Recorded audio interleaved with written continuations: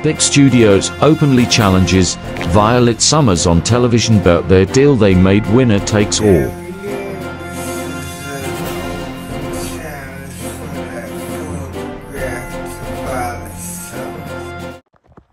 Somehow a news special report. Spectacular, what is your uh, view here on the outcome of that match between you and Violet Summers?